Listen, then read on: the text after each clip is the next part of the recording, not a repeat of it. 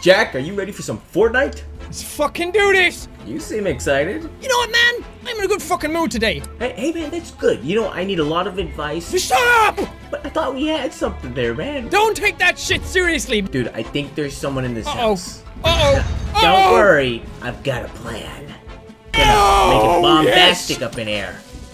Oh! Oh! Mm-hmm. Oh! Oh, they underestimate the power of the They do. bus! They do. uh, you, are you okay? Wishy freshness! Oh yeah. You know, we make a good team. You're lucky I like you.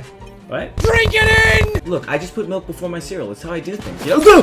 Go over there! No, I'm scared. Go over Okay, there! okay, I'm going. Jack, I need some motivation. all right? Everybody, channel your bossness, just like Mr. Miyagi did in the Karate Kid. Yeah, Rub yeah. your hands together. Oh, so hot.